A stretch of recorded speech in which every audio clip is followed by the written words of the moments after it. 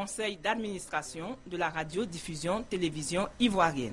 À l'ordre du jour, la désignation du nouveau directeur général de la RTI et du président du conseil d'administration. Le conseil d'administration a élu M. Pascal Akabrou en qualité de président du conseil d'administration de la RTI.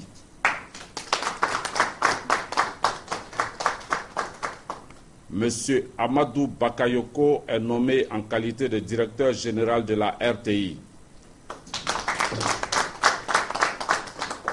Pascal Akabrou, reconduit à la tête du conseil d'administration de la RTI, prend le pari de ce nouveau succès. Il y a un immense challenge, un vaste chantier devant nous et très rapidement, nous devons tous nous mettre au travail pour les affronter.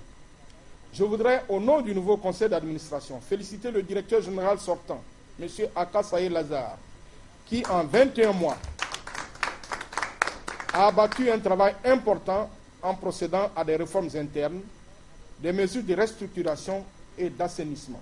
Le nouveau directeur général de la RTI, Amadou Bakayoko, remplace à ce poste Akasaye Lazare. Il mesure le poids de cette responsabilité. Nous avons vraiment un nombre important d'hommes et de femmes extrêmement compétents, passionnés par leur métier, qui euh, ne ménagent pas leurs euh, horaires, travaillent les week-ends et les soirs.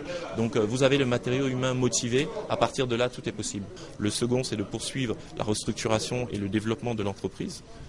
donc pour pouvoir assainir sa situation financière en maîtrisant mieux nos coûts et en développant nos ventes. Le représentant du ministre de la Communication a prodigué des conseils aux nouveaux dirigeants de la RTI. Madame le ministre de la Communication vous exhorte à faire en sorte que la RTI soit plus proche de nos populations.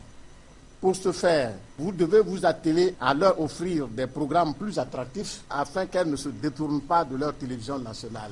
C'est sur une note conviviale qu'a pris fin la cérémonie d'installation officielle du nouveau conseil d'administration de la radio-diffusion télévision ivoirienne.